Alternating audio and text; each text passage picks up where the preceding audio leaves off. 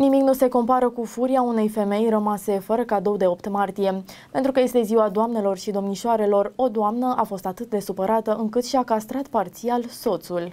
Atacul nemilos al consoartei dezamăgite l-a lăsat într-o secundă fără o parte din bărbăție. Cum a ajuns doamna să scoată fum pe nări? Ei bine, din cauza concubinului. De 15 ani își petrec zilele deloc romantic. Până de curând însă, când ea l-a avertizat să nu vină acasă pe 8 martie fără flori, lui însă i-a intrat pe o ureche și a ieșit pe alta. Povestea de dragoste dintre Marinela și Ionel este una de durată, dar și plină de năbădăi. După o perioadă în care au stat despărțiți, Marinela a cedat și a mai dat o șansă. Însă de ziua femeii, când ea se aștepta ca el să-i arate dragostea lui, și-a dat seama că Ionel nu s-a schimbat deloc. Cu dureri groaznice, Ionel a mers direct la poliție, unde le-a spus agenților cum l-a pedepsit Marinela pentru că nu i-a luat nicio floare de ziua femeii. Când l-au văzut în ce stare este, polițiștii au sunat la 112, iar Ionel a ajuns la spital unde a intrat direct direct în sala de operație. Bărbatul s-a trezit dimineața ca în orice altă zi. În loc să-și alinte consoarta, a dus-o la tăiatul viei. Nemângâiată și sătulă de muncă, femeia a răbufnit.